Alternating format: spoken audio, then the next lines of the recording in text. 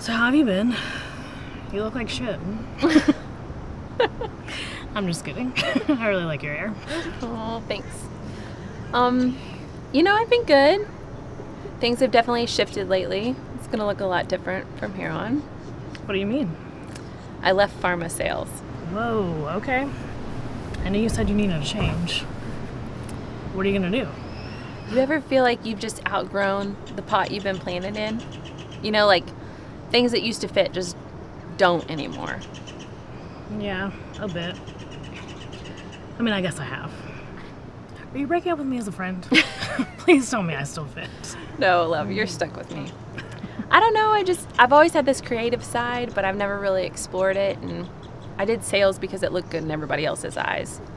But there's just this voice inside of me that just keeps trying to speak up and tell me to listen. And I feel like if I keep shutting it out, it's just gonna go silent. And I just can't let that happen. True story. I had strep once and didn't talk for like a week. And then when I tried, I couldn't. I'm sorry. Go on. What's the creative side? Um, yeah, I don't really know yet. I'm still figuring it out. I mean, I have my whole life to work, so it just has to be something that I love, you know?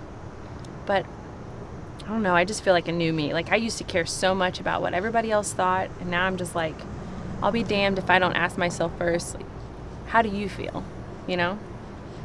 Gosh, that sounds so healthy and empowering. I really need to get on your level. the biggest change I've made recently is switching up my shampoos, and that was a complete fail. Should we go? Yeah, let's go.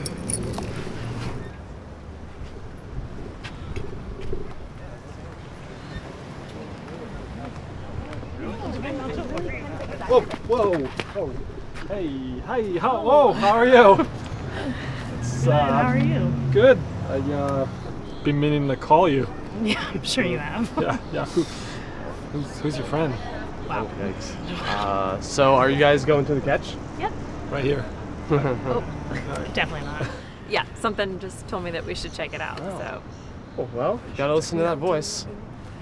Yep, for sure. Okay. Uh, See ya. Well, See ya. nice meeting you. Crazy story. I actually know that girl. I met her on Tinder. She's absolutely crazy.